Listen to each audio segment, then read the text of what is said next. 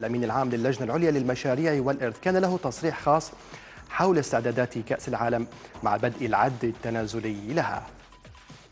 قضاء 4000 يوم آه، وتبقي 1000 يوم للبطولة.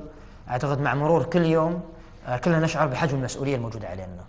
آه، إحنا الحمد لله قد المسؤولية وإن شاء الله بإذن الله الله يوفقنا ونبيض الوجه، طبعا المسؤولية مش مسؤولية مجرد موجودة على علي أنا أو على أفراد اللجنة أو اللجنة المنظمة، لكن هذه موجودة على دولة قطر بشكل عام. والحمد لله أعتقد إحنا يوم ورا يوم نثبت إن إحنا ماشيين في المسار الصحيح لاستضافة بطولة تاريخية على معايير ليست فقط بطولات كأس عالم، لكن بطولات استضافة الأحداث الكبرى الرياضية بشكل عام.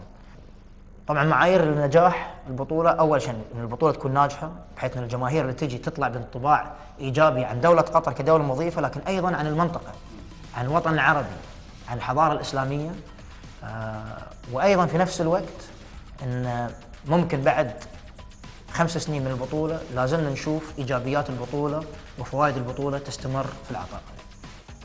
كذلك قال السيد ناصر الخاطر الرئيس التنفيذي لكأس العالم في قطر 2022 إن قطر استفادت كثيرا من خلال استضافتها للكثير من البطولات العالمية في الفترة الماضية.